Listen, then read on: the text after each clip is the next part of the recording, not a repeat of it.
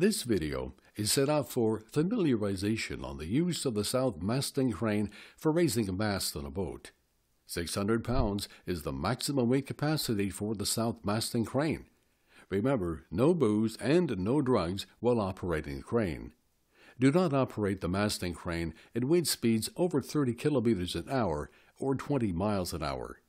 Three people are required at a very minimum, and four or more are preferable. Avoid having anyone working under the mast as it is raised. In addition, when the mast is vertical and someone is working between the mast step and the base of the mast, be careful of fingers.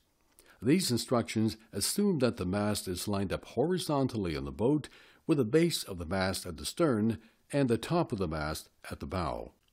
Ensure the boat is tied off to the four corners of the well.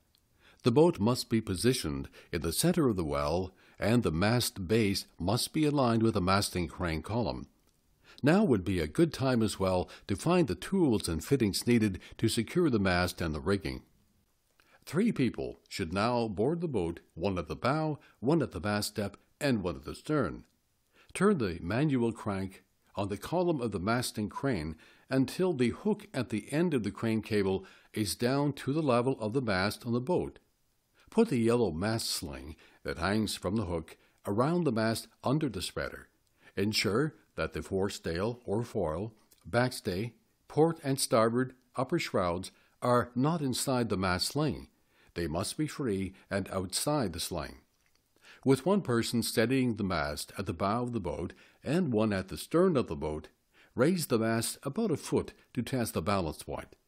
The mast must be top light, bottom heavy when you lift it from under the spreader. If not, see the instructions for masting a double spreader masted boat. Two people must hold the mast at the base and walk the mast forward from the stern as it is raised. As the mast is raised, one person on board the boat must check for snags and release any stays, lines, and so forth that get caught.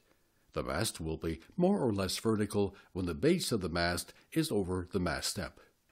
A third person is required to lay down at the base of the mast and attach any of the electrical connections or pivot pins so that the mast can be lowered onto the mast base.